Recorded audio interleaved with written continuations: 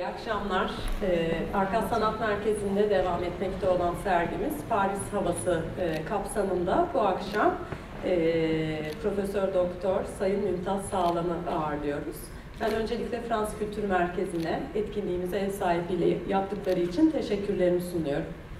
E, Mümtaz Bey e, ülkemizde görsel sanatlar, resim sanatı üzerine eleştiriler yazılarıyla, yayınlarıyla e, ve Fikret Mualla üzerine de araştırmalarıyla çok önemli bir isim. Ben kısaca kendisinin özgeçmişini size aktarmak isterim. E, sanat eleştirisi alanında çok sayıda makale ve kitap yayını gerçekleştiren Profesör Mümtaz Sağlam, Türkiye'de resmin dönemsel gelişimine yönelik ve belirginleşen üslup tavırları üzerine odaklanan kitaplar yazmakta, sergiler düzenlemektedir. Bakış, iz ve bellek, çağdaş Türk resim sanatında soyut eğilimler, değişen algılar ve yeni arayışlar, çağdaş Türk resim sanatı, Türk resminde canlanan doğa, çağdaş Türk resim sanatında estetik tavır ve yaratıcı düşünce, deneyimin ötesi, kent, mekan, süreç, İzmir'de betim, biçimlenen resim sanatına dönemsel bir bakış, gelecek, e, gelenek, kültür ve modernite, Türkiye'den çağdaş sanat, anlatı, yer ve zaman ile çağdaş Türk resim sanatında imgelen, zaman ve mekan gibi pek çok serginin küratörlüğünü ve metin yazarlığını üstlenmiştir. 2007'den itibaren İstanbul, Washington, Lüksemburg, Saraybosna, Üsküp, Sofya, Kazan, Ufak, Kuala Lumpur ve Bakü'de düzenlenen Türkiye Cumhuriyet Merkez Bankası Sanat Koleksiyonu'ndan derlenen kapsamlı sergileri gerçekleştirerek kitap ve kataloglarını hazırlamıştır.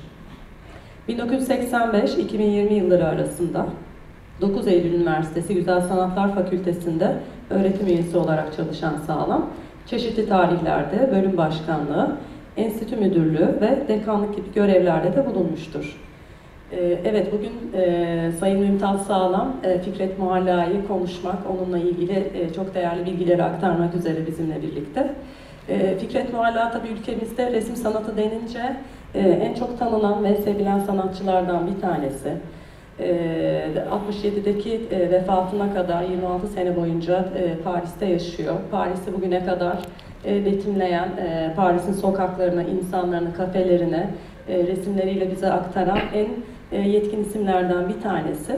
Biz Fikret Muhalla'yı tabii çok renkli, coşkulu resimleriyle, bize pozitif duygular aşılayan eserleriyle tanıyoruz ama arkasında çok da başka bir hayat hikayesi var.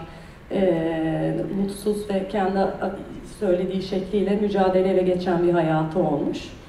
E, şimdi ben bize Fikret Mualla'yı e, değerli birikimiyle aktarması üzere üzerine Sayın Mümtaz Sağlam'ı sahneye davet ediyorum.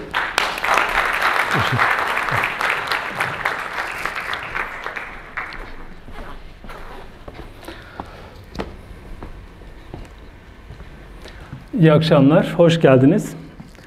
Ben iki yıldır ders anlatmıyorum. Umarım çok heyecanlanmam. Ee, ünlü, tanınmış sanatçılar üzerine konuşmak her zaman zordur. Ee, bir bakış aralığı yakalayabilirsek, e, yakalayabilirsem mutlu olduğumu düş olacağımı düşünüyorum. Ee, bilinen şeyleri, e, belli alışkanlıkları ve ezberleri bozmak zordur. Fikret Mualla bu anlamda e, Van Gogh gibi, Lautrec gibi e, hayatının resmini gölgelediği bir sanat yaşamına sahip. Dolayısıyla biraz kazımamız gerekiyor. Görünen e, resmin ötesine geçmeye çalışmamız gerekiyor. Umarım bunda başarılı oluruz. Evet ben Fikret Mualla ile ilgili yaklaşık 15 yıl öncesinde bir makale yayınlamıştım. Ee, tepki görmüştü. Melankolik bir yaklaşıma sahip olduğunu söyleyince e, o geleneksel bakış e, ve anlayış e, biraz e, şey yaptı, rahatsız oldu. Ya işte çok neşeli, keyifli, çocuksu, naif bir resim karşısında e, biraz haksızlık yapmıyor musun falan gibi.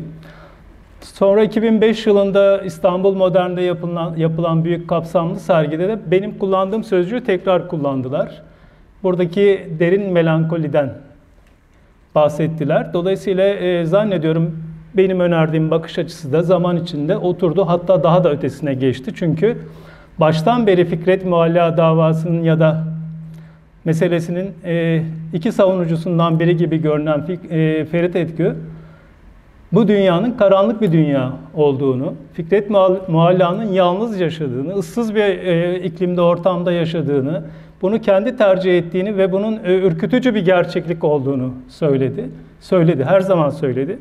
Sonra yayınlarla birlikte bu düşünceler de pekişti. Daha sonra e, 1980 yılında yayınlanan bir kitap var. Fikret Mualla ile ilgili bence çok nitelikli, kapsamlı bir kitap. Ee, uzun e, yaşamı uz, e, yaşamı kısa yaşamı boyunca iyi dostluk yaptığı Abidin Dino e, gözlemlerini ve düşüncelerini inanılmaz bir dille, edebi bir dille bir öykü kahramanı haline getirerek, bir anlatı kahramanı haline getirerek anlattı ve biz bugün aslında Abidin Dino'nun çizdiği perspektifte e, bir sanatçı değerlendirmesi yapıyoruz. Bütün verilerimizi Abidin Dino'dan alıyoruz ya da böyle söyleyeyim. E, ben de bu izleyi, bu yaklaşımı, temayı e, sürdürenlerden birisiyim. Evet 63 e, pardon 1903 ve 1967 yıllar arasında yaşadı. Çok uzun bir yaşamı yok. Bugün geriye doğru baktığımızda bunu rahatlıkla söyleyebiliriz. Fakat çok şey sığdı bu yaşama. Aslında bu dönemde yaşayan e, pek çok sanatçı kendilerini biraz Osmanlı bakiyesi olarak kabul ederler. Uzun süre Osmanlıca yazmışlardır. Yazışmalarda kullandıkları dil, anlatımlarında kullandıkları dil bir Osmanlı kültürünün devamıdır. E, o süreç içerisinde e, Birinci Dünya Savaşı yaşanmıştır, milli mücadele yaşanmıştır. Arkasından bunların e, gençlik dönemlerinin biraz sonrasında İkinci Dünya Savaşı'nın yarattığı sıkıntılar devreye girmiştir. Böyle inanılmaz bir süreçte zamana tanıklık eden, çok sert koşullarda sanatını yapmak zorunda kalan, hayatını sürdürmek zorunda kalan e, sanatçılardır bu dönemdeki isimler ve e, bunun da oluşturduğu e, sözünü ettiğim karanlık dünyayı e, birazcık beslediğini, pekiştirdiğini de söylememiz gerekir. Evet, çok ilginç ve e, çok bilinen bir hikayesi var. İstanbullu e, bir sanatçı, Moda Kadıköy ortamında, civarında yetişen bir e, ailenin, yaşayan bir ailenin çocuğu. E, yaklaşık olarak 3 yaşında e, çekindi bazı fotoğraflar bugün elimizde. E, ilginç biçimde o dönemde çocuklar sadece Fikret Mualla'ya özgü bir durum değil, kız çocuğu gibi gi giydiriliyor ve dolaştırılıyor ya da resimleniyor. Bu e, Fikret Mualla'ya özgü bir durum değil. Ama ilginç tabii. E, psikologlar e, birazcık bu meselenin e, sorunlu bir mesele olduğunu söylüyorlar. E, saçları uzun, kız e, çocuğu giysileriyle e, giydirilmiş bir şekilde bir dönem yaşıyor. İyi bir aile ortamında yaşıyor. Babası e, Diyonu Umumiye Müdürü, reisi. E, haliyle gelirleri o dönem için e, iyi diyebileceğimiz bir e, durumda. Dolayısıyla e, aile ortamı e, onu kültürel açıdan biraz besliyor. O yaşlarda ne kadar oldu bu bilmiyorum ama e, o dönemde e, salgın halinde olan İspanyol gribi bir şekilde okulda Fikret Mualla'ya bulaşıyor ve annesine bulaştırıyor bu hastalığı. Sanki pek çok dramda ortak şey konu budur. Ee, sanatçılar e, bir hastalıkla ya annelerini ya babalarını e, hasta ederler ve yaşları nedeniyle bu kişiler hastalığa dayanamazlar. Çocuk kurtulur ama anne ya da baba ölür, vefat eder. Dolayısıyla e, Fikret Mualla annesine hastalık bulaştırıyor ve annesinin ölümünü gripten dolayı, İspanyol gribinden dolayı ölümünü ölümüne neden oluyor. Aslında yaşamı boyunca temel duyduğu suçluluk duygusu, bir takım e, korkular, kaygılar, kötü rüyalar e, bu meseleyle alakalı.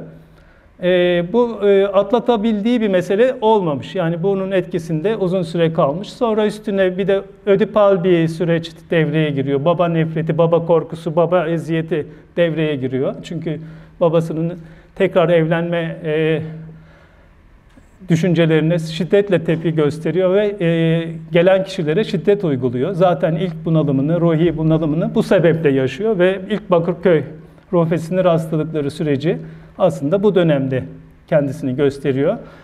Ee, ondan sonra da hayatı aslında normal bir çizgiye asla kavuşmuyor. sıkıntılı bir süreç olarak ölene kadar devam ediyor. Evet ben bu süreci üçe ayırdım. Ee, kabaca tabii bu yaptığım tasnif çok detaylı ve şey bir inceleme olarak görülmemeli. Ee, çocukluk dönemi San Josef Lisesi Kadıköy'de ve e, İstanbul'da Galatasaray Lisesi'nde geçen bir süreç. E, yaklaşık 18 yıl, 19 yıl civarında belki e, bir süreç. Arada e, İsviçre'ye gidiyor. Babası İstanbul'dan uzaklaşmasını ve e, yanında olmamasını düşündüğü için e, eğitim amacıyla mühendis olsun diyerek e, Zürih'e gönderiyor Fikret Mualla'yı. E, esas e, yaban hayatı, e, sürgün hayatı aslında e, 1930 yılında başlıyor. Yani sürgün e, hem gerçek anlamda sürgün, coğrafi anlamda ülkesinde, vatanında değil, hem de e, mecazi anlamda artık yalnız kaldığı, çocuk yaşta yalnız kaldığı bir yalnızlığı tercih ettiği gönüllü sürgünlük diyebileceğimiz bir gerçeklik olarak o dönemde karşımıza çıkıyor. İsviçre dönemi çok kısa bir dönem. Berlin'e geçiyor. Ee, sanat eğitimi almak istediğine karar veriyor çünkü. Birazcık yaşı da ilerleyince. Ee, Berlin'de Hali Asaf'la tanışıyor. Hali Asaf e, yaşça biraz daha büyük e, ve çok başarılı bir ressam. E, Alman ekolünü bence çok iyi temsil eden ama hayatı kısa sürmüş bir sanatçı. E, ondan çok etkileniyor ve e, Berlin Güzel Sanatlar Akademisi'nde iki yıla yakın bir süre eğitim görüyor. Tabii o zaman okul bitirme gibi bir şey mesele yok e, ve e, yetkin olduğunu ya da işte parası e, bittiğini anladığı anda dönmek zorunda kalıyor ve İstanbul süreci çok hareketli, etkili ve e, onu geliştiren bir dönem olarak devreye giriyor. Bu süreçte karşımızda e, Abidin Dino var yine, e, Nazım Hikmet var, e, Fikret Adil var, eleştirmen gazeteci. E, onu çok yakından destekleyen, bilen, tanıyan İsmail Hakkı Baltacıoğlu var. Yeni Adam dergisinde ona ilk kendini gösterme fırsatını sunan e, bir düşünce adamı eğitimci. E, fakat İstanbul sürecinde e, sıkıntılı meseleler başlıyor. Bugün bizim balık pazarı olarak bildiğimiz Beyoğlu'ndaki bir lokantada, o civarda bulunan bir lokantada bulunan bir Atatürk resmiyle ilgili Atatürk resmini yapan Alman ressamla ilgili aslında bir takım eleştirilerini sesli olarak ifade edince e, polis gözetimine tabi tutuluyor ve tutuklanıyor. Ee, arkadaşları bu sefer başvuruyorlar. Diyorlar ki bu arkadaşımızın biraz e, ruhsal sorunları var. Kendisi deli olmasa bile delilik belirtileri göz kurtarmak için yapıyorlar bunu. İlk delilik şeyi de o zaman devreye girmiş oluyor. Sıfatı da o zaman devreye girmiş oluyor ve e, mahkeme diyor işte akıllı olmadığına dair rapor alın. Deli olduğuna dair rapor alın. İnanılmaz bir üzüntülü bir şekilde arkadaşları bunu zorlayarak Bakırköy Ruh Sinir Hastalıklarına gö- götürüyorlar. Fakat oradaki doktor çok da iyi niyetli bir doktor olmasına rağmen 3 ay yatması gerekir. Bizim onu akıllı mı deli mi olduğu te- tespitini koyabilmemiz için 3 aya yakın yatması gerekir. 3 hafta da olabilir çok emin değilim o konuda. E, ama o büyük bir süre olarak geliyor tabii şeye, e, Fikret Mualla'ya. E, ama orada Neyzen Tevfik'le tanışıyor. Aynı koğuşta kalıyor. E, o da bir eğitim şeyine dönüşüyor aslında. E, daha sonra bir ta, e, savcılık soruşturması daha e, gö, görünce e, artık İstanbul'dan gitmesi gerektiğine her, hep birlikte, tüm çevresiyle birlikte karar veriliyor. Arkadaşları para topluyor. O dönemde babasından miras kaldı diye bir takım kaynaklarda bilgiler var. Abidin Duna bunun gerçek olmadığını, doğru olmadığını söylüyor. Çünkü o tarihte New York'ta düzenlenen bir dünya fuarı sergisinde Türkiye'yi temsilen 30 resim yapma işi ona veriliyor. Bilerek ayarlıyorlar bunu. Onun parasıyla e, 1939 yılında Sirkeci'den e, Avni Arbaş ve Edip Hakkı Köseoğlu iki ressam arkadaşı e, trene bindiriyorlar ve bir daha geri dönmesi mümkün olmayan e, yurt dışı hayatı başlamış oluyor. Sürgün hayatı tekrar başlamış oluyor. Böyle özetleyebilirim. E, Paris sürecini biraz sonra anlatacağım. E, 67 yılında da e, Fransa'nın güneyinde bir köyde yaşamını 4 yıl, 3 yıl civarında sakince yaşadığı bir yerde fakat sağlık sorunları olduğu için e, ölümle sonuç sonuçlanan bir süreç olarak e, tamamlıyor ve e, hayata gözlerini 67 yılında kapatıyor. Tabi detaylar var. 74 yılında cenazesi İstanbul'a getiriliyor. E, ülke ona itibarını iade etmek için bir takım jestler yapıyor. Aslında sağlığında da yapıyor fakat bu paranoyalarıyla, psikozlu süreçlerle ilişkili olduğu için muhalla bunları ters anlıyor, yanlış anlıyor. E, o dönemde bu yakınlaşma gerçekleşmiyor.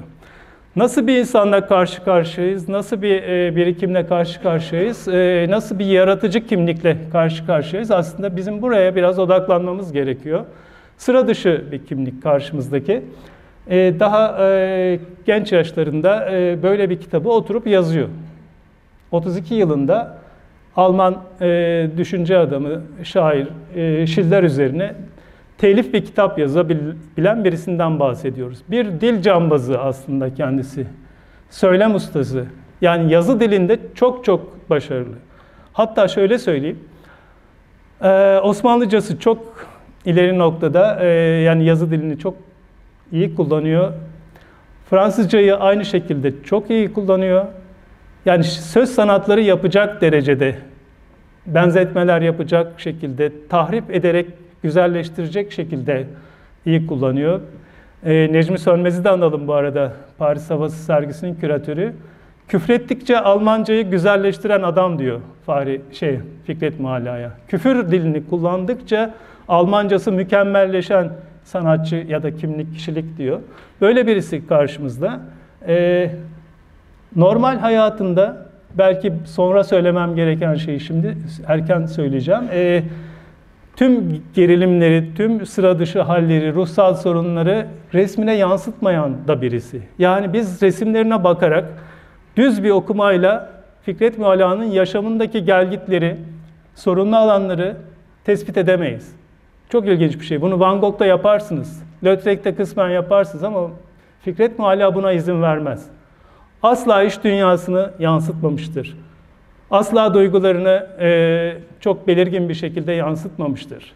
Garip bir resim tavrıyla e, devam etmeyi tercih etmiştir. Bunun sebeplerini tartışacağız. Evet, o genç yaşlarda 37 yılında, 36-37 yılında Yeni Adam dergisinde bu eğitim, e, edebiyat, psikoloji alanlarına değinen bir dergi. E, e, çok etkili bir dergi o dönemde. Mahmut Cuda gibi sanatçılar da kapakları çiziyor. E, fakat Fikret Mualla daha kadrolu grafiker gibi çalışıyor. Bir takım e, yazıların e, resimlemelerini yapıyor. Ama bağımsız desenlerde e, gerçekleştiriyor. Burada burada baktığımızda görüyoruz karşımızda çok usta bir e, grafik duygusu çok gelişmiş bir e, estetik anlayış var. Daha genç yaşta ilk çalışmaları bunlar. Siyah beyaz e, karşıtlığı içerisinde bakın ara tonlar yok, gri tonlar yok. Bu kadar e, etkili sonuçlar almak ancak baskı resim tekniklerinde mümkündür. Bunu direkt e, resim tasarımı ya da resim meselesi olarak algılayıp gerçekleştiriyor. Ve bunların içine, içine mantıklı, anlamlı bir takım hikayeler sokuyor. Ya da mevcut hikayeyi karşılayan çizimler gerçekleştiriyor. Ee, kolay değil o dönemde 30'lu yıllarda bu dili geliştirmek, önermek ve Alman ekspresyonizminin bu derece e, iyi algılandığını gösteren sonuçlar elde etmek çok önemli. Yüzlerce var yani çok çalışmış. E, yaklaşık o bir buçuk iki yılı e, çok verimli kullanmış. Ama tabi İsmail Hakkı Baltacıoğlu da diyor ki evet git ama burayı unutma falan diye güzel şeyleri var. Mesajları, mektupları var. E, gidince bu resmi devam ettirmiyor. Öyle bir şey var, mesele var tabii. Bu resim burada kalıyor. Yani bir süreklilik içerisinde Fikret Mualla'nın bu yaklaşımını biraz siyasal bilinçle beslenen, eleştirel anlayışla e, beslenen, çevresiyle beslenen, aynı zamanda Nazım Hikmet'in iki kitabını resimliyor. E, o şey destek ortadan kalkınca e, bir şekilde e, Fikret Mualla'nın resmi başka bir kimliğe, görselliğe evriliyor. Evet, benim e, çok önemli bulduğum bir kitap çalışması. E, şu an sahafların en değerli kitaplarından birisi. Almaya kalktığınızda falan çok ciddi rakamlar dönüyor.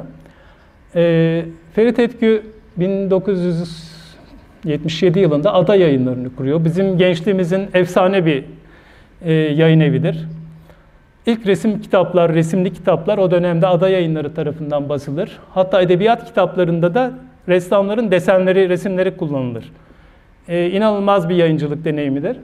Ee, Fikret, e, Ferit Etkün'ün ilk çıkardığı kitaplardan biri neredeyse hamilik derecesinde yakın bulduğu kendisine ve çok değerli bulduğu, dünyasına yakın bulduğu Fikret Mualla'nın e, o, o ana dek bilinmeyen bir e, defterini yayınlamak olmuştur. Defter e, şeklinde aslında çalışıyor Fikret Mualla. Fakat Fikret Mualla'nın desenleri, çalışmaları nedense o sayfalar koparılarak bağımsız olarak piyasaya veriliyor.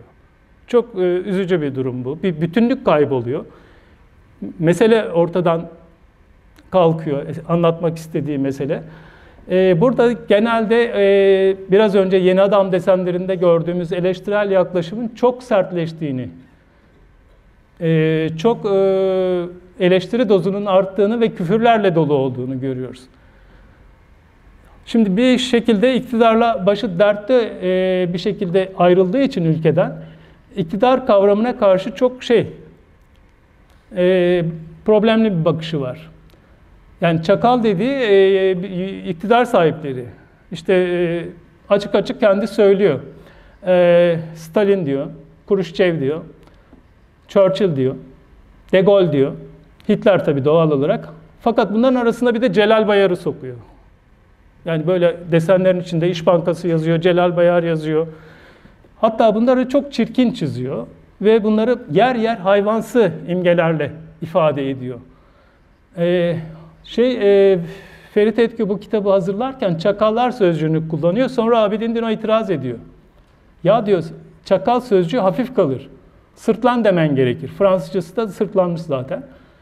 Ee, sanıyorum 90'lı yıllarda Yapı Kredi bu kitabı tekrar bastı. Albastı defterleri olarak adını değiştirdi ve o kitabın içerisinde bu desenler e, sırtlanlar olarak yayınlandı. Doğru yayınlandı. O kitabı da zaten Ferit Etkü hazırlamıştı. E, ilginç bir şekilde Ferit Etkü kitap kitabını yaptığı sanatçıları bir de sergiyle lanse etti ediyordu. Yani o dönemde böyle çalışıyordu. Narmanlı Han'da Bedri Rahmi Galerisi e, e, bu sanatçıların kitaplarına eşlik eden sergileri de e, e, yakın zamanlı ya da eş zamanlı olarak e, İstanbullu sanatseverlere sundu. Nasıl sayfalardan oluşuyor? Soldaki örnek. E, gördüğünüz gibi Osmanlıca sayfalar bunlar, defter sayfaları. Sadece çizimle e, yazı birlikteliğinden oluşan bir resim e, anlayışı var e, ve inanılmaz derecede etkili, sert bir söyleme sahip. Evet bu ilk sergileri İstanbul'da Bedir Rahmi Galerisi'nde açılmış ilk sergileri Fikret Mualla'nın. Onların afişleri bunları da yine Ferit Etkü hazırlıyor, yönetiyor, oluşturuyor. O zaman küratörlük gibi bir kavram yok, konsept yok. Daha sonra bahsettiğim albastı defterleri ee, yine bu desenlere yer veriyor. Bir defter daha bulunuyor arada. O geçen süre içerisinde iki defter bu e, kitapta e, yer alıyor. Fikret Mualla'nın mektupları ya da böyle defter sayfaları aslında o ruh halini biraz önce resimleri yansıtmaz dedim ama mektupları yansıtır. Ve mektupları çok çok değerlidir. Birer edebiyat vesikası, belgesi olarak değerlendirilir ve mektuplarında resim desen birlikteliği vardır. Kendini mektuplarında rahatlıkla ifade eder, duygularını rahatlıkla açıklar. Belli güvendiği kişilere karşı karşıya olmadığı için, yakınlaşmadığı için, göz temasına girmediği için yazı diliyle kendini ifade etmekte daha rahat davranır. Bunların başında e, İsveçli bir e, ressam arkadaşının annesi geliyor. Grete Bolin hanıme, hanımefendi diye, Bayan Bolin diye geçiyor metinlerde. Ona özellikle özel hayatını anlatıyor. Rüyalarını anlatıyor. Bugün bu mektuplar ortaya çıktıkça biz Fikret Mualla'nın hayatındaki bir takım detayları daha rahat kavrayabiliyoruz. Yani e, demin söylediğim anne özlemi, anne kaybı, sevgi ve e, şefkat arayışı falan oralarda gördüğü rüyalarda temel e, motif olarak zaten çok belirgin ya da dokunduğu kadının ölmesi hikayesi ya da rüyaları. çok tuhaf bir şey ama e, bu korkuyla kadınlara mesafe koyuyor ve hayatında yakın alanında hiç kadın yok. Yani bu Van Gogh'ta da kısmen geçerli bir durumdu.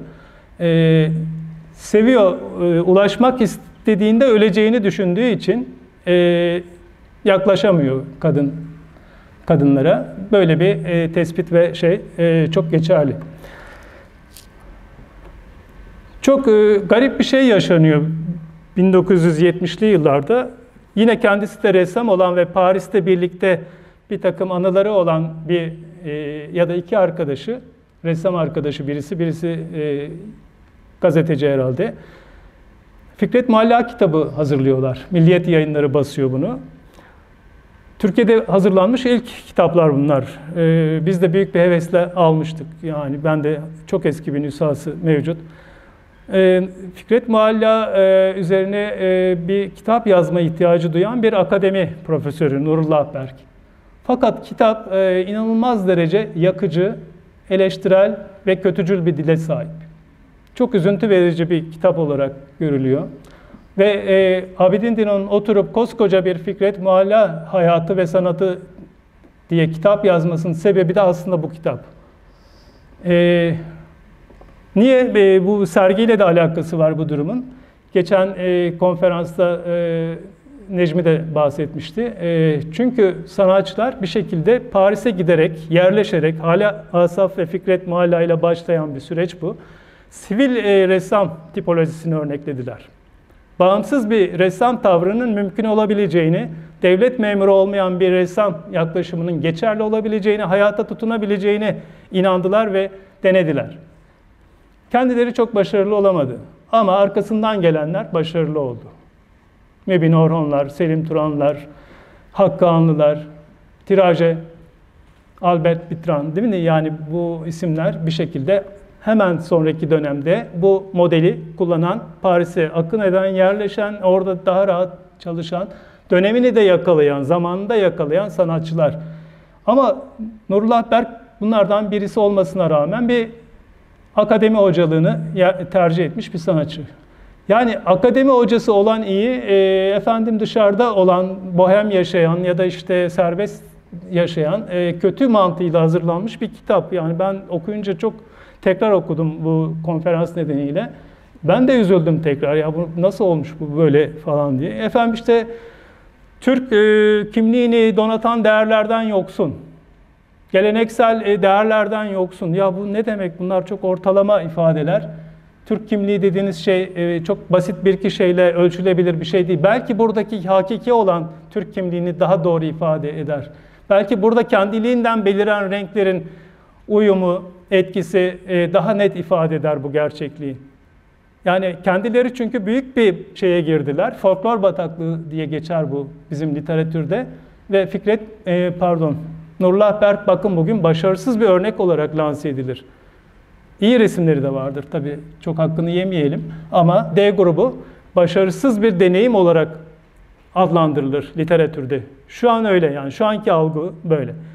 E, yani bu Fikret Mualla'ya e, bir şekilde hayatına kasteden kitaplar serisi diyebilirim. Bir şekilde e, okuyucu da buluyor. Bunlar tabii kısmen Paris'te Fikret Mualla'nın yaşamına tanıklık etmiş isimler. Aslında Abidin Dino 30'lu yıllarda İstanbul'da çok büyük bir yakınlık gösteriyor. 54'ten sonra kendisi Paris'te tekrar gittiğinde İlk aradığı ve bulduğu sanatçılardan birisi arkadaşı Fikret Mualla ve çok büyük bir yakınlık gösteriyor, dostluk gösteriyor, sahip çıkıyor ona. Çünkü ilgiye muhtaç birisi Fikret Mualla ve güvende az sayıda insandan birisi Abidin Dino. Ölene kadar da e, bu şeyini, sorumluluğunu, e, üstlendiği sorumluluğu gerçekleştiriyor. Hatta Relyan köyüne giden trene de Abidin Dino ve eşi bindiriyor Fikret Mualla'yı ve bu son görüşmeleri oluyor. Son yıllarda, son dönemde diyelim 2018 yılında, 2017 yıllarında e, çıkan iki yayın bunlar Fikret Mualla ile ilgili. E, Abidin Dino'nun kitabı tekrar elden geçirilmiş hali bu. Şu an bütün kitapçılarda bulabilirsiniz. Reklam gibi oldu ama e, bu konuyu merak edenler için önemli bir kaynak. Diğeri çok gizemli bir kitap. Yani o kadar araştırma yaptığınızda karşınıza çıkmayan bir durum var. E, Fikret Muallas ünlü opera sanatçısı. E, Semiha Berksoy'la da mektuplaşıyor. Çok özel bir dilleri var. E, paylaşıyorlar duygularını, yakınlıklarını, arkadaşlıklarını. Fakat bu çok yerde e, bul, bul, bulabildiğimiz bir bilgi değil. Bu kitap bunu birazcık daha ortaya kanıtlarıyla dökmüş durumda. Bu mektuplar özellikle e, Fikret Mualla'nın e, beklediği ilgiyi Semiha Habersoy'dan gördü. Aman dikkat et, işte şunu yapma, bunu yapma, efendim işte güzel giyin, sağlığına sigarayı azalt, efendim e, alkolü azalt gibi şey yakınlıktan kaynaklanan şeyler içeren yazılarla dolu. Aralarında bir duygusal yakınlığın olduğu belli. Fakat bu çok aşikar bir e, görünen bir şey değil. E, Gülay Hoca, Gülay Yaşayanlar bu konu üzerine 3-4 yazı hazırladı. E, bu ilişkinin e, yan yana gelişin biraz imkansız imkansız bir birliktelik olduğuna dair tespitleri var. E, bunları ayakta tutan şeyin yaşama karşı olan e, o korkunun, kaygının oluşturduğu direnç olduğunu zannediyorum. Öyle bir mantığa dayandırdı, tespit etti. Dolayısıyla e, bu kitabında öyle bir ayrı bir özelliği var. Bu mektuplar nasıldı? Ee, sağda gördüğünüz gibi. Yani her biri saklanabilecek kalitede, efemera kalitesi ve niteliği içerisinde değer taşıyan, e, bazen Türkçe, bazen Osmanlıca, bazen e, Fransızca, bazen Almanca, bazen resimli, bazen çok kısa. Ama temel hepsinde şu var, hep bir şey istiyor, e, ilgi istiyor. Bir de e, işte Türkiye'den gelen bir birisi varsa aman diyor bana bafra sigarası, efendim rakı, sucuk, sardalya konservesi. Yani bakın e, sürgünlük halinin temel şeylerinden biri. Yani zihninde e, memleket duygusu asla yok olmuyor. Fakat gerçekte oraya ulaşma şansı ve imkanı yok. Ama orayla bağlantısını nesneler üzerinden e, canlı tutmaya çalışıyor. Bu portrede e, bir ilginç bir portre. Semiha Bersoy'un e, şeye yaptığı, Fikret Mualla'ya yaptığı yazışmalarda kullandığı bir portre. E, çok ilginç. E, Fikret Mualla e, öldüğünde Semiha Bersoy'un ressam olduğunu bilmiyordu. Aynı zamanda ressam olduğunu bilmiyordu.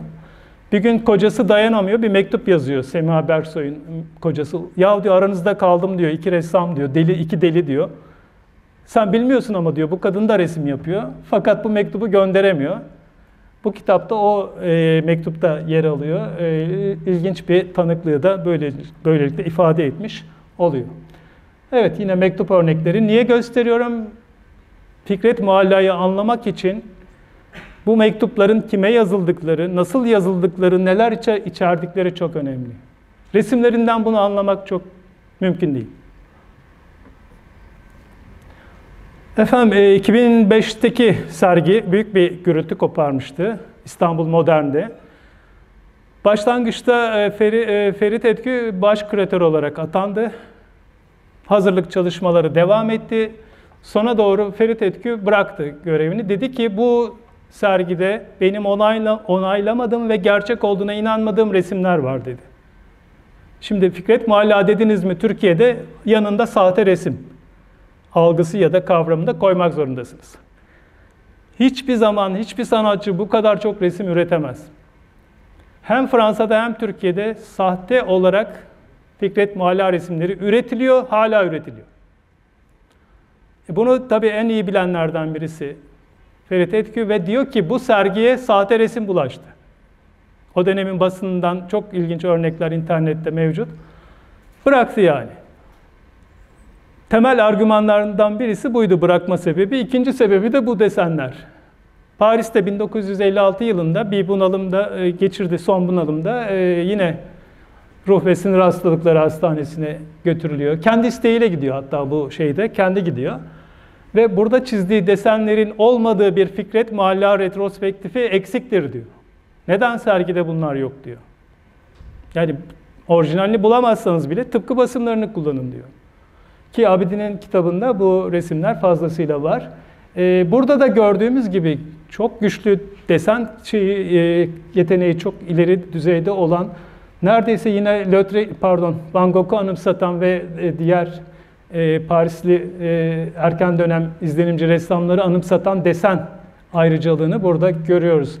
E, ama çok sağlıklı bakın bir deli resmi ya da bir işte ruhsal gerginlik içindeki bir adamın resmi gibi değil bakın ince dengeler, e, kompozisyonu anlamlı ve doğru kılan bir takım temel plastik göstergeler yerli yerinde kullanılmış. Evet, o bahsettiğim sergi bu. E, Ferit Etkün'ün iddialarına cevap veremediler, vermediler. E, bu, ilginç bir şekilde bu kitap e, piyasada sergide yapıldı. E, sergilerin şöyle bir şeyi var. Yani sahte resimler e, bir katalogda yayınlandığı anda tescil olmuş gibi oluyor. Ha, böyle bir risk var yani. Buna düşmemeleri gerekirdi diyor Ferit Etkü ama diyor bunda bir sakınca görmediler. Çünkü iş adamları yatırım yapıyor, resmi kurumlar yatırım yapıyor. Devlet bile yani Ankara'da Resim Heykel Müzesi'nde Fikret Muallak koleksiyonu var, salonu var. Gidiyor Paris'te müzayedelerden Fikret Muallak topluyor. Devlet bile dikkatli olmalı. Yani onu söylemek istiyorum. Ee, tabii e, engellenemeyecek ölçüde de çünkü e, kopyası kolay olan da bir resim yapıyor Fikret Mualla. Biraz sonra göreceğiz. E, hassas bir konu e, halen geçerliliğini koruyor. Evet, sanatına baktığımızda ben yine kabaca 3 bölümde değerlendiriyorum. Bahsettiğim İstanbul dönemi desenlerden oluşan, hatta demin söylemeyi unuttum. Semiha Berksoy bir hikaye yazıyor, öykü yazıyor. Ee, Ses dergisi zannediyorum ona gönderiyor yayınlanması için ve Fikret Mualla'dan bu öyküyü resimlemesini istiyor. Fikret Mualla'nın bugün hiçbirimizin bilmediği ya da bazılarımızın bildiği e, sürrealist desenleri var ve burada kullanıyor.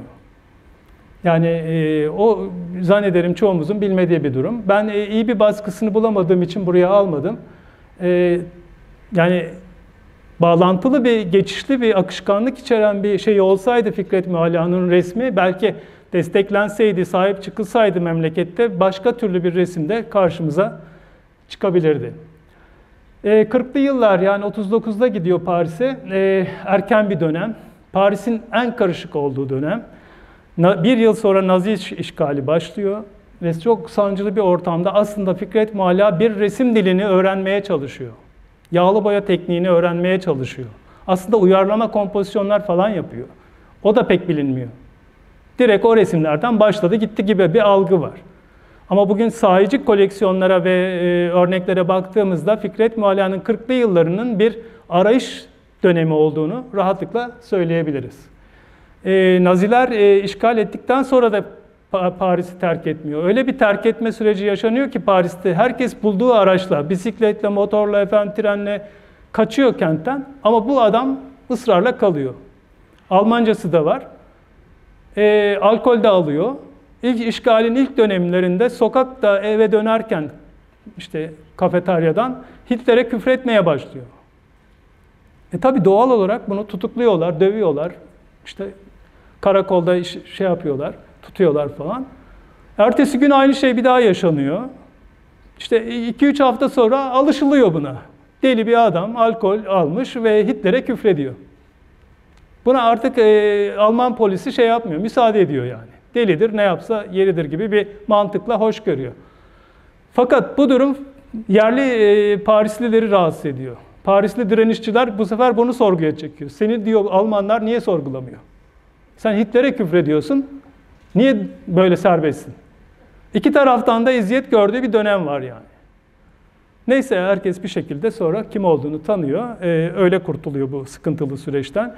Ee, esas e, bizim bildiğimiz, anlamlandırdığımız, tanımladığımız Fikret Mualla resimleri ise 52 yılından sonra, 50'li yıllardan sonra da diyebiliriz, e, oluşuyor ve bu dönemde aslında Paris'te yavaş yavaş ismi oturuyor. Koleksiyonerlerin ilgisini çekiyor, galericilerin ilgisini çekiyor, destek görmeye başlıyor.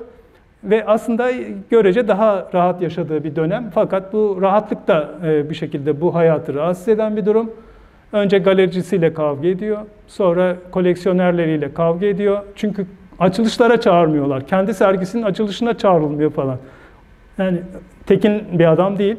E, dolayısıyla e, en son Madame Angles'a rastlayana kadar ya da onunla ilişkiye geçene kadar 60'lı yıllarda, 60'lı yılın başında bu e, mesele devam ediyor. 60'tan sonra da sağlık sorunları başlıyor, yaşlanıyor.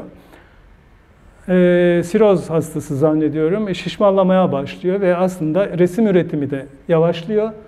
E, tekrar yeni bir sürgün ve yalnızlık hayatı e, yaşa, yaşadı. Relyan köyüne transfer oluyor. Nasıl bir resim bu araştırma dönemi? Bakın 43 yılı. Ee, daha çok Lautrec etkileriyle e, ya da Alman geç dönem Alman e, empresyonistleri ve yeni ekspresyonist diyebileceğimiz ressamların tavırlarıyla alakalı analiz diyebileceğimiz yaklaşımla elde edilen sonuçlar bunlar. E, biraz daha sakin, biraz daha yavaş, e, biraz daha e, kendini aradığı e, bir süreç bu. Burada daha iyi belki anlamak mümkün. Bunun içinde Picasso var, bunun içinde Braque var, yani kendi var. E, yani etkilenmedi falan, hiçbir akımla ilişkisi yoktur, bağlantısı yoktur. Okudunuz mu bunlar yazıyor. E peki bu resimlere ne diyeceğiz?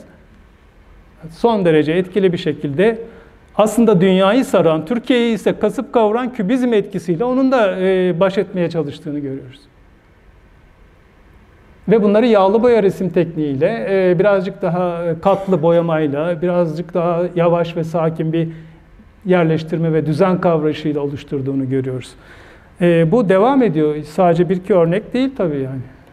Ben 40'lı yılları e, böyle bir dönem olarak e, görüyorum. Daha sonra zaten yağlı boyayı ter, terk ediyor. Çok seyrek yapıyor. E, çok özel bir giysisi var. Belki başta söylemem gerekirdi. Çok e, hırpani, e, bohem bir görünüşe e, rağmen e, çok beğenilen bir giyim tarzı olduğu da söyleniyor. E, Beyoğlu'ndaki e, Ermeni terzilerle çalıştığı, onlara çizimler verdiği ve bu elbiseleri diktirdiği söyleniyor. Ee, büyük cepli, yakasız paltolar. Cepler niye büyük? Bu bir tarafta mektupları saklıyor. Yani mektupları nedense yanında tutuyor. Yani bir yere koymuyor, saklamıyor, yanında tutuyor. Ne, ne o kadar mektubu nasıl saklıyor bilmiyorum. Bir cebinde ise guaj boyaları var, sulu boyası var. E, eli de e, şey, dosya taşıyor. E, el, e, elbiselerinin bu kısmını deri yaptırıyor. Yıpranmaması için, çantayı rahat taşıması için. E, bunları detayları düşünen, çizen ve e, bu elbiseleri yaptıran birisi. Mesela ömründe bir kere Paris'ten dışarı çıkıyor. Gezi amaçlı olarak çıkıyor. Londra'ya gidiyor. Londra'da yaptığı ilk şey e, yün kumaşlar aramak, bulmak, satın almak. Yani öyle de bir zevki var e, Fikret Mala'nın. E, büyük ayakkabı giyiyor. Görüntüde bir gariplik biraz sonra göstereceğim. Kocaman ayakları var gibi.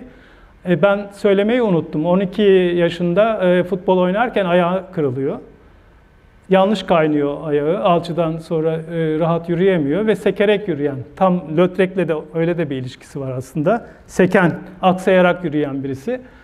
E, ayakkabıların büyük olmasının onun e, yürümesini kolaylaştırdığına inanıyor ve dengeli kaldığına inanıyor. O yüzden büyük numara ayakkabılar giyiyor. Böyle de bir giyim tarzı var.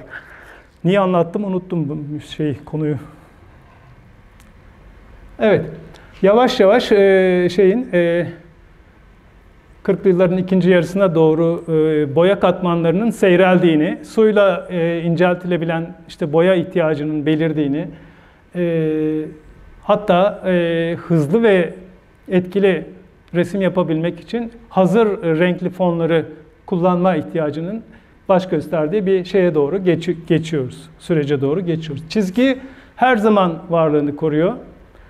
Çizgi aslında e, alanları sınırlıyor. Yani renk girdiğinde de aslında kontur değerlerini yitirmiyor.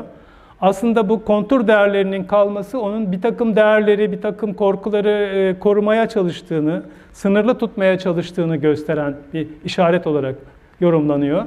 Ee, bilemiyorum bu ileri bir iddia tabii ama normal resmin kendi gelişim sürekliliği içerisinde de bu estetik sonuç karşımıza çıkıyor. Çok hızlı. Bakın hız bizde bir sorundur. Türk resminin temel sorunlarından biri durgun olmasıdır. Hareket ifadesinde biz hep zorlanırız. Ama adamın resmi yerinde durmuyor. Yani bu hızı e, e, bize sağlayan temel göstergelerden biri dinamik bir desen kavrayışı, yorumu. E, bunu belirtmek gerekir. Yani bu resim normal gelmedi bana mesela. Ee, çok etkili yani. Arkas koleksiyonunda, sergide var mı? Şu an hatırlayamadım. Yok herhalde. Ee, bakın sanatçıların natürmort tutkuları sadece şey değildir. Hani bir resim türüdür yapalım. Natürmort aslında sanatçının kendi estetik sınırlarını test ettiği bir deneyim alanıdır. Sonsuz ilişki türetebilirsiniz orada. Kolay değildir yani bu. Yani iki şeyin yan yana resmini yapmak dünyanın en zor şeylerinden biridir. Denerseniz görürsünüz. Yani hele birbiriyle boy orantısızlığı olan iki nesneyi, iki figürü resmetmeye kalktığınızda ciddi şekilde bocalarsınız. Şeyiniz bozulur yani. E bu kolay bir resim değil. Yani bu benim söylediğim şeyi doğruluyor. Bir resim araştırmasının, analizinin, özellikle e, o dönem Paris'te yaygın olan bir biçimleme tarzının ya da yaygın demeyeyim mi hafif geçmiş ama e, etkileri devam eden e, bir post-empresyonist bir sürecin e, şeyleriyle hesaplaşıldığını gösteriyor bize. Çok güçlü bir resim karşımızda. Yani bu resmi normalde imzasız falan bana gösterseler ben bir tahmin edemem sanki. Çok düşünürsem belki bulurum ama ben bu testi çok yaptım. Türk ressamlarının böyle dönemleri var. Yani gösteriyorsunuz kimse o sanatçıyı bilemez yani. Çünkü değişkendir, şeydir. Efendim e, hızlı evrilir. Bilinç niteliği geliştikçe resim gelişir falan ama burada öyle bir şey de yok. Burada e, bilinç niteliğinin geliştiğini, siyasal bilincin, entelektüel bilincin geliştiğini söylemek de çok doğru değil. Çünkü adamın böyle bir çabası yok. Ama resim son derece sağlıklı, dengeli. E, yani Arkas Bey çok iyi bir tercihti. Bu belgesel resmi, değer taşıyan resmi koleksiyonuna dahil etmiş. Bakın normal şeyi bu. Portre, pardon, natürmort algısı bu. O demin söylediğim 2005 yılındaki sergide Ali Akay, Ali e, Haşim Nur Gürel, Levent Çalıkoğlu'nun küratörlüğünde İstanbul Modern'de yapılan sergide bu resimlerle ilgili çok ilginç bir tespit yapılıyor. Diyorlar ki Fikret Mualla önce bunları resimledi sonra yedi. Yani çok önemli bir bilgi yani değerli bir bilgi. Yani ben niye yazmışlar anlayamadım. Gurmeydi, çok iyi beslenirdi, parasını işte iyi harcardı. Ya adam açlıktan ölüyor. yani, o kadarcık bir zevki de olsun. Ya içtiği şarap pahalı bir şarap değil. Hayva, havyar yiyor, onu biliyorum. E, o da yani herhalde e, o dönemde Paris'te olan bir şey. Yani bu resime bakıp onu görmek çok tuhaf geldi bana. Bunlar ne güzel yenir, bunlar güzel e, bir doyum şey yaratır gibi bir resim bakmak yani acılı, sancılı, dertli bir adama bu pek söylenmez gibi geldi bana. E, çünkü biraz sonra bazı resim, figüratif resimler için söyleyeceğim.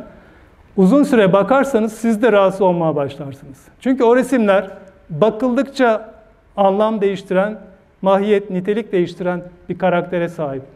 Hayalet falan görmeye başlarsınız. O güzel çocuksu resimde hayaletler sizi karşılamaya başlar. Çünkü hiçbirinde yüz ifadesi yoktur.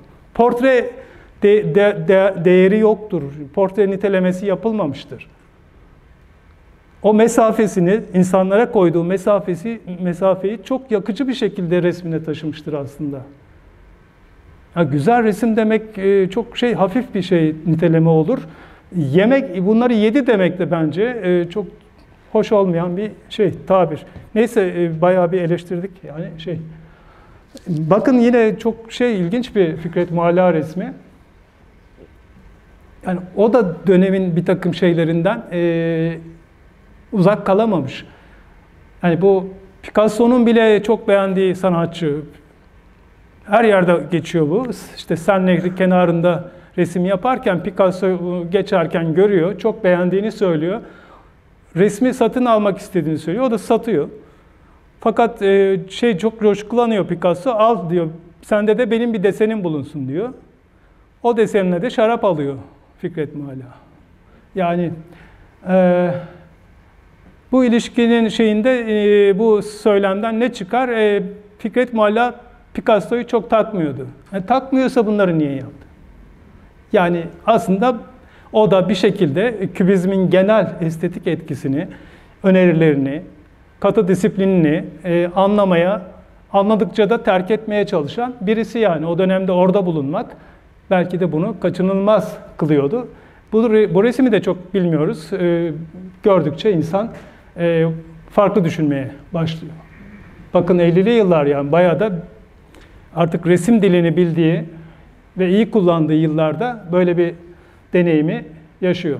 Ve gerçek resmi aslında bu tarz oluşan e, renkli kartonlar üzerine e, ya da renkli yüzeyler üzerine e, guaj boya tekniğinin ve yağlı boya tekniğinin çok birbirine yaklaştığı ama kısa sürede guaj boyanın kendi bağımsızlığını elde ettiği bir teknik gelişim içerisinde. Demin söylediğim şeye bakın, karakterler yok. Vurgu, portre vurguları yok.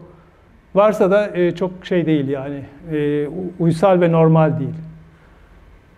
Peki bu adam bu resimleri niye yapıyor? Yani kafe, kafeteryada oturan, bistroda oturan e, insanlar, efendim işte baloncu.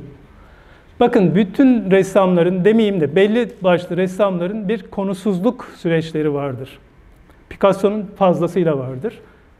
Ne bileyim George Bazelis'in değil mi? Anne çocuk resimleri vardır. Portakal yiyen adam. Ya böyle bir resmi George Bazelis niye yapar? Bir tarafta Nazizm eleştirisi yapıp gelirken birdenbire portakal yiyen adam, çocuğunu seven anne. Yani bu konusuz ve şeysiz kaldığı bir dönem değil. Resim yapmakla kendini yeterli gördüğü, ikna olduğu, doyuma ulaştırdığı bir anı yaşıyor sanatçı. Picasso o dönem, pardon Fikret Mala o dönemde hayata tutunmak için resim yaptığını söylüyor. Ve yaptığı resmin geldiği aşama onu ona yeterli geldiği anda bırakıyor ve başka bir resme geçiyor. Yani o resmi bitirmek, tamamlamak, efendim sonuçlandırmak gibi bir dertle resim yapmıyor. Hatta 60'lı yıllarda e, yazdığı mektuplarda resim yapmazsa öleceğini söylüyor. Ölmemek için resim yapıyorum diyor. Hayata tutunduğu tek yer. Yani tek yapabildiği şey. Başkaca bir şeyi yok. Kendini ifade etme olanağı yok. Aslında kendini de ifade etmiyor. Demin söylediğim çok doğru. Ee, kendini sadece bir yere iliştiriyor. Te teelliyor yani. Resim fikriyle, resim düşüncesiyle e, yeterli görüp bırakıyor.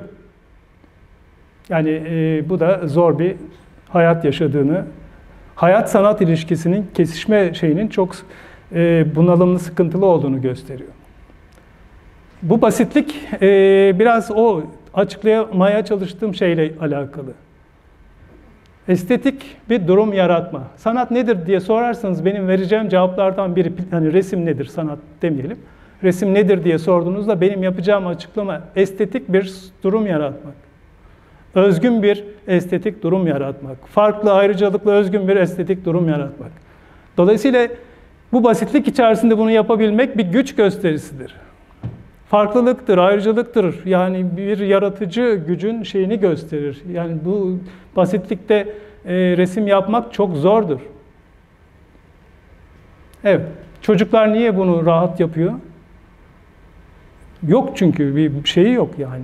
Direkt kendini ifade ediyor. Basit bir şeyi ifade ediyor. Ya işte annesinin resmi ya babasının resmi ya bir düğün resmi, bayrak. Ama bakın çocuk büyüdükçe ne oluyor? O resimler buharlaşıyor. Bana işte telefon ediyorlar. Çocuğum çok yetenekli, çocuğum çok yetenekli. Ya tamam da kaç yaşında? E 13 yaşında. E siz 17 yaşında gelin. Bakalım ne kalıyor ortada. Hayat her şeyi dengeliyor, alıp götürüyor. Çocuk bilgilendikçe, gerçek şeye, verilere ulaştıkça o dünyayı terk ediyor. O çünkü bir hayal dünyası, saf bir dünya, naif bir dünya. Kendini orada koruyor. O yaşta koruyor. Yani çocuğunuz çok yetenekli değil, her çocuk yetenekli. Tabii ki istisnalar var. Yani herkesi de şey yapmayalım. Çok yetenekli çocuklar mutlaka var. Meselesi. Mesela Abidin Dinoğlu da buna çok takılıyor. Ya diyor yani resmen suçluyorlar adamı işte aşkı hiç aşık olmadı, hiç sevmedi, işte hiç birlikte olmadı. Ya size ne ne karışıyorsunuz? Orası onun bu hale gelmesinin temel sebebi. Yani karşı cinse e, duyduğu alaka model karşısına model alıp çizerek yok edilecek bir şey değil. Asla model kullanmıyor. Yani öğrencilik yıllarında ya da işte Berlin'de tabii ki model çalışmıştır ama örneğin ölmeden önce yaptığı bir ziyarette Abidin Dino çok güzel bir neyi görüyor, çıplak görüyor. Diyor ki modelin çok güzel birisi herhalde diyor. O da hayır diyor, o Zürih'teki sevgilim diyor. Bakın aradan kaç yıl geçmiş. Çok canlı bir izlenim halinde e, Zürih'teki sevdiği e, arkadaşının e, çıplak tasavvurunu yapabiliyor. Yeni bir durum değil, yeni bir ilişki değil, yeni bir gerçeklik değil. Yani karşısına bir model alıp çalışmış değil. Dolayısıyla burada da yine bir klasik resim türü olarak çıplağın e, bir şekilde onu alakadar ettiği ama geleneksel çıplak kavrayışının ötesinde biçimlendiğini. Yani vücudun yapısal karakteriyle ilişkin, tensel dokusuyla ilişkin bir şey yok, bir sonuç yok burada. Çıplak algısıyla, düşüncesiyle, kavramıyla bir ilişki kurulabilir ancak. Ve erotik değil. Değil mi? Bakın Mahmutçu'da da yapıyor aynı dönemde. Türk resminin en erotik resimlerinden biri. Bizim İzmir Resim Heykel Müzesi'nde. Keza Namık İsmail. En cüretli iki çıplak. O dönemde üretiliyor. Hiç alakası yok tabii bunun onlarla. evet, resim bir e, kendini e, hayatta tutma, canlı tutma, ve gelir tabii, söylemeyi unuttum, gelir sağlama e, aracı. Yani o kadar hızlı satıyor ki, o kadar hızlı elden çıkarıyor ki, işte diyelim bugünkü tabirle şey geldi, kurye geldi. Tab şeyde şövalyede resmi gördü. Aa ben bunu çok beğendim. O da diyor ki vereyim sana. Benim diyor param yok. Peki kaç param var diyor. O da diyor ki benim cebimde işte 75 lira var. Tamam diyor ver. Şey parayı ver. yani Birçok resmi bu şekilde el değiştiriyor. En çok onu üzen konulardan biri de sonra bunu ifade ediyor 60'lı yıllarda. Özellikle bu koleksiyoner ve galeri ve şey denetimine girdiği andan Madame Angles diye okunuyor değil mi Fransızca? Yanlış telaffuz ediyor olabilirim. Madame Angles'te çalışmaya başladığı dönemde en çok onu üzen şey evet hayatım bir şeye kavuştu. Lükse kavuştu. En azından geçim derdim kalmadı, yeme içme derdim kalmadı ama resimlerimin sayıyla satılması beni çok hırpalıyor. Yani estetik nitelikleriyle, boyutlarıyla, efendim kaliteleriyle ya da teknik becerisiyle değil sayıyla satılması beni çok etkiliyor diye bir şeyi var. Söz, kullandığı sözcük var. Tabii çok bir ressam için iyi bir şey değil bu. Çünkü küçük resimler yapıyor. Bir dosya içine saklanabilir resimler yapıyor. Galericisi ayda dört resim, bazen iki resim şeklinde bir anlaşma yapmış. Ee, kendisi de deneyiminden kaynaklı olarak guaj boyayı çok ince kullanıyor. Biliyor yani kalın kullansa guaj boya kalın olarak kullanıldığında ve katlandığında çatlar dökülür. Su bazlı bir boyadır. Kalın boyandığında zaten yağlı boya etkisi verir ama yine çatlama riski vardır. Bu riske karşı küçük katlanmayacak boyutlarda ve ince katlarla çalışıyor. Evet gördüğünüz gibi. Din, dışa vurumcu resmin üç tane şeyi vardır. Temel belirleyici kavramı vardır. Onu da yine Fransızlar icat etmiştir. 3, 3D diye geçer. 3D formülü diye geçer. Ee, dinamizm, deformasyon, dışa vurum. Yani bir resmin gerçek e, e, dışa vurumcu karakterini anlayabilmek için e, bu formülü uygulamak gerekir. Bir de buna entelektüel katkılar diye bir başlık açar. George Mathieu isminde bir düşün, düşünür ressam. O da işte bu kabusların, sıkıntıların, özel hayatın, gerilimlerin, korkuların belirleyici olduğu bir süreçtir. Dolayısıyla bu perspektiften baktığınızda aslında Fikret Mualla'nın çok sahici, bir dışavurumcu ressam olduğunu, döneminin tüm e, şeylerini, belirtilerini aslında resmine taşıdığını ve kendinden sonra gelen soyut dışavurumculuk ya da o dönemde yaygınlaşan soyut dışavurumculuğa bir zemin hazırladığını belki de söylemek gerekir. Evet 55 yılında yaptığı bir çalışma. Arada bir geri dönüşler oluyor ya da bu tarihlerde bir ama kendi imzası var. Yani birdenbire böyle yine e, pentür kavramıyla uyuşan klasik göndermeleri olan resimler yaptığı da demek ki oluyor. benim en çok sevdiğim şeylerden, resimlerden birisi. Biraz önce söylediğim o 3D formülüyle yaklaştığınızda size yanıt veren, karşılık veren, sizi plastik açıdan ikna eden, resim kalitesi olarak çok yukarıda görünen bir çalışma. Belki görsel zayıf biraz şey olarak, piksel olarak ama çok nitelikli bir resim.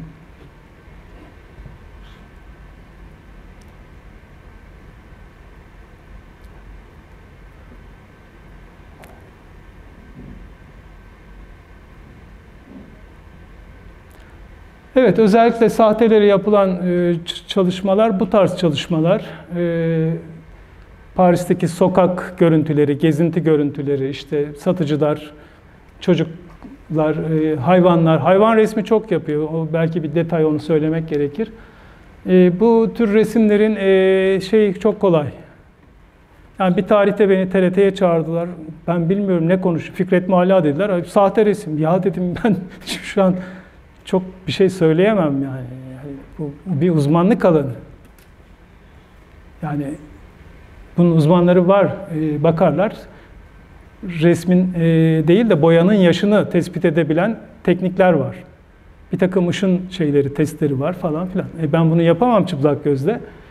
Şu anda yani e, sadece söylemek istediğim bu tarz kompozisyonlarının e, şeyinin kopyasını üretmenin kolay olduğu. Bu polisiye bir olay. Şu an e, mahkemeler bile devam ediyor. Hatta e, Paris'te fan kulübü falan var. Fikret Muhalla'yı çok sonradan keşfeden, çok seven e, gruplar var. Onların web sayfaları falan olduğunu biliyorum. Yani hepsi oturup Fikret Muhalla resmi yapıyor. O anlamda söylüyorum. Evet, daha sonra e, Fransa'nın güneyine alışmaya başlıyor. Önce Kana gidiyor. Daha sonra işte Relyan köyüne gidiyor. Dolayısıyla resimlerinde bir takım e, rahatlamalar. Başlangıçta İstanbul resimlerine, Sulubaya efektli İstanbul resimlerine yaklaşan e, tespitler karşımıza çıkmaya başlıyor. Tabii bu dönemde birazcık e, psikolojik sorunlarını e, azıcık geride bırakıyor belki. Rahat, daha rahat yaşıyor ama tabii yalnız yaşıyor. Bu yalnız, yalnız olma hali e, çok korkutucu bir durum tabii ki ve sürekli bir durum. Demin söylemiştim başlangıçta yüzüne baktıkça, uzun süre baktıkça anlamsız ve şey korkutucu gelmeye başlayan e, karakterler bunlar aslında. Çok örnek buldum da sonra vazgeçtim. Biz yine bu ölçüde kalalım çünkü ertesi gün gazetelerde çıkıyor. Mümtaz Hoca şöyle dedi, Mümtaz Hoca ya yok ben bir şey demiyorum. Ben şu an burada bir takım e, şeyler görünenin ötesine geçmeye çalıştığımda bir takım tespitler yaptığımda bunları görüyorum. Bakın aynı şekilde ortadaki kadın figürüne bir duygu ifadesi, bir sevgi ifadesi, kızgınlık ifadesi, değil mi? Mutluluk, coşku vesaire yani bizim resmi zenginleştiren e, ve derin anlam derinliği sağlayan şeylerden çok uzakta olduğunu görüyoruz. Evet. Tabii bunlar yıl olarak e, son döneme yaklaşan resimleri. Yine Arkas koleksiyonunda e, çok hızlıca ürettiği, çok artık birikimle ürettiği, deneyim birikimiyle ürettiği resimler bunlar. E, saf renkleri kullanıyor. E, bu şeyden çıkarak yola bu saf renk kullanma şeyinden yola çıkarak minyatürün devamcısı falan nakkaş imzası attığı için mektuplarında kendisine nakkaş dediği için efendim e, Fikret Muallat tipik bir e, minyatür geleneği devamıdır. Minyatüre e, bağlı resimler üretir gibi tespitler var. Hatta kısmen Abidin Dino da böyle şeyler söylüyor. Efendim göz sevinci sunar.